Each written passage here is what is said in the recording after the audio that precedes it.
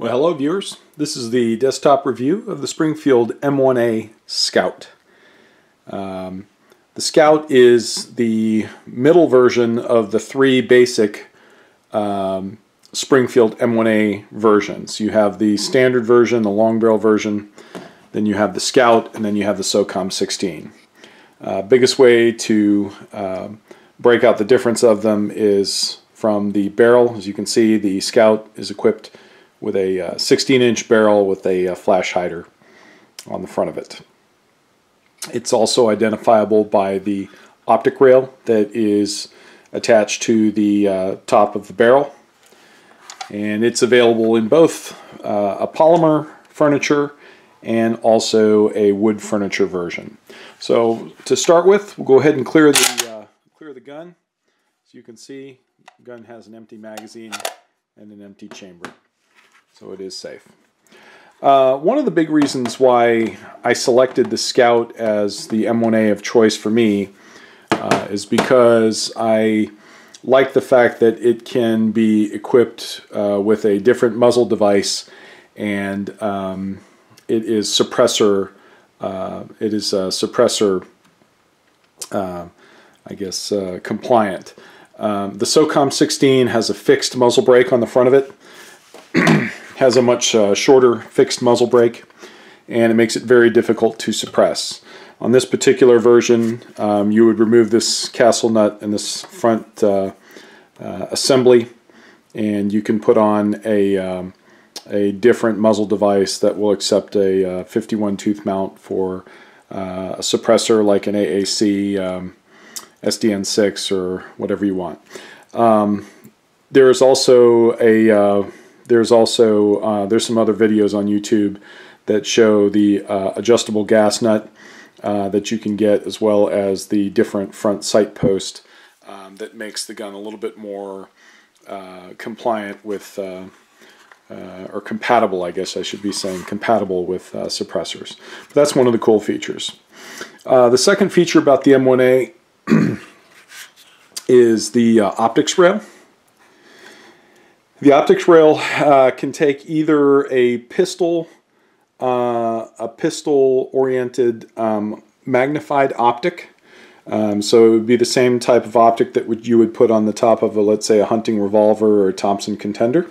Or you can affix a, a uh, red dot uh, scope to that. I've had my uh, EOTech on here before, and uh, the the witness from your eye uh, is very nice. It's got a great um, field of view. It is a little tall, so you may want to put something on the buttstock to get your cheek welled up a little bit, but um, fantastic as far as um, having a built-in optic rail.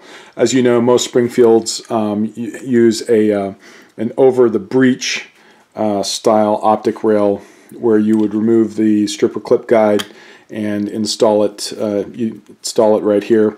Um, those are nice if you want a magnified optic, but if you want just sort of a red dot or that type of thing, this is the best uh, that I've that I've found. Um, a couple other things with the uh, Springfield, obviously, is fed with a um, by a magazine. These are available in a variety of different config configurations. This is a 20 round steel magazine from Springfield Armory. It's very high quality. Uh, there's a lot of cheaper mags out there on the uh, market. The one thing I can tell you is I highly recommend um, spending uh, the money to get a good quality magazine.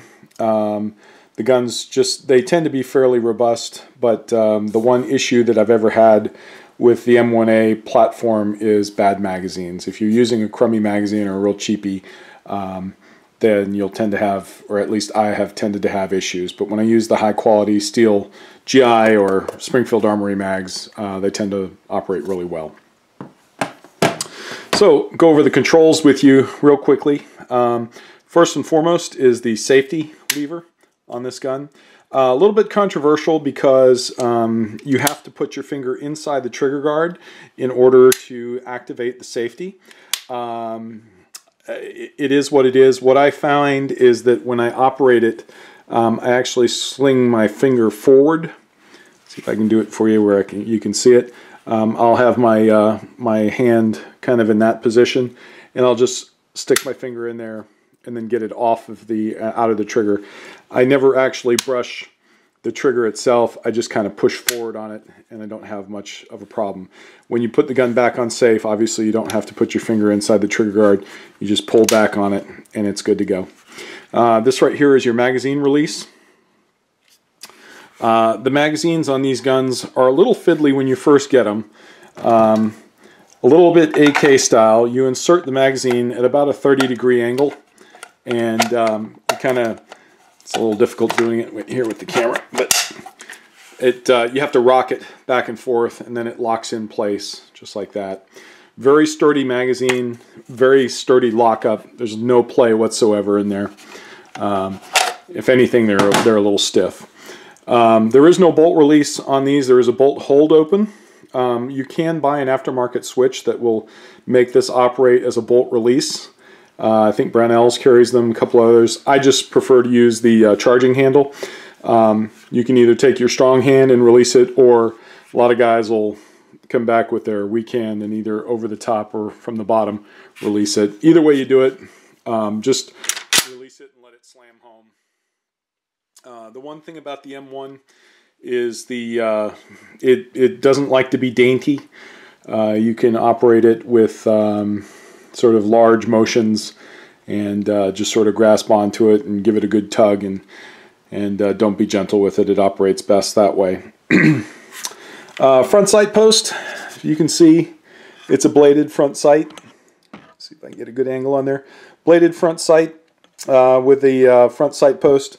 And then the uh, rear sight on these is a peep aperture. I don't think I can get it uh, on the actual sight post itself, but it is a peep aperture, and it is adjustable for windage. Um, uh, very nice, robust sight. It's got the uh, it's got the protective ears on there, and you can replace the uh, you can replace the sight here with a couple of different sizes of um, aperture. So if you're doing more uh, close-in work, you can get a much larger aperture that a la the SOCOM uh, 16, or you can use um, the uh, sort of the rifle, um, the rifle uh, size or the uh, uh, sight aperture. Um, all the information that comes on these guns is always posted right here. And as you can see, this particular one is a Springfield U.S. rifle M1A and um, really nice.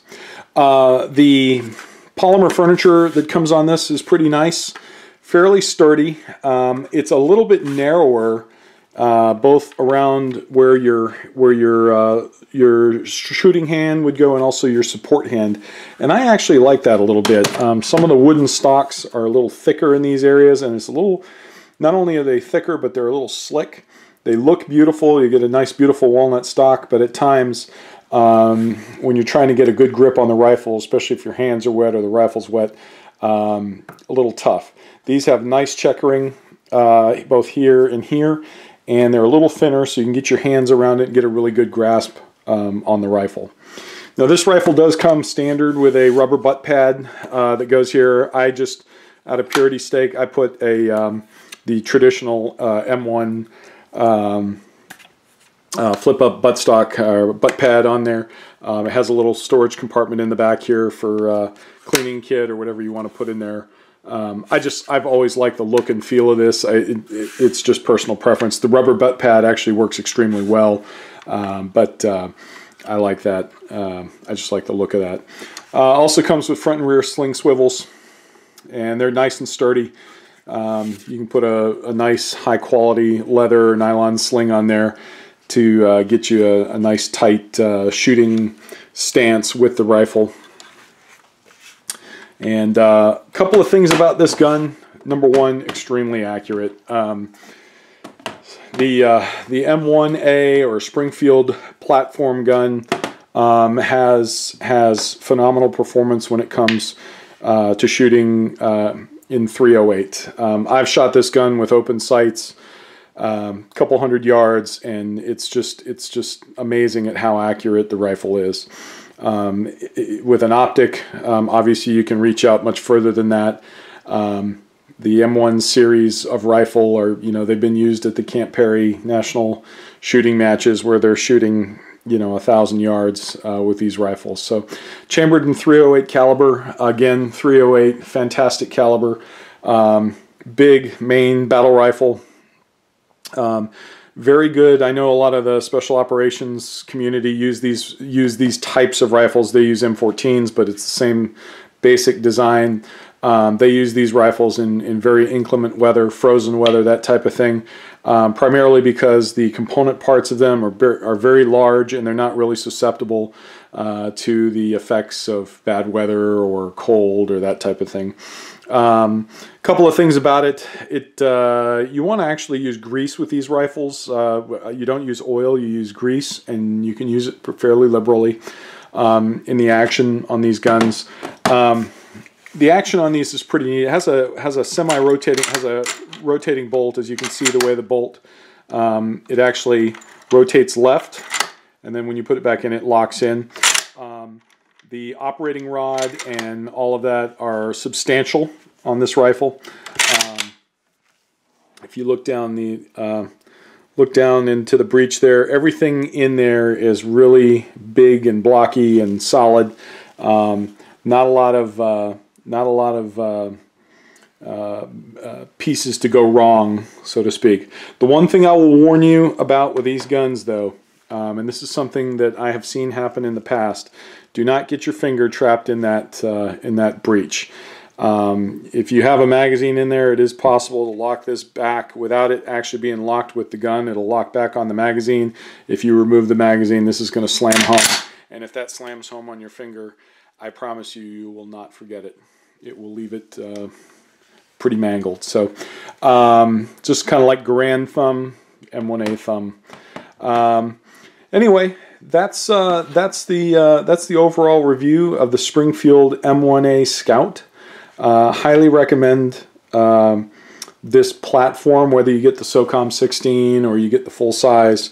Um, great, great battle rifle and a great addition to uh, any gun collection.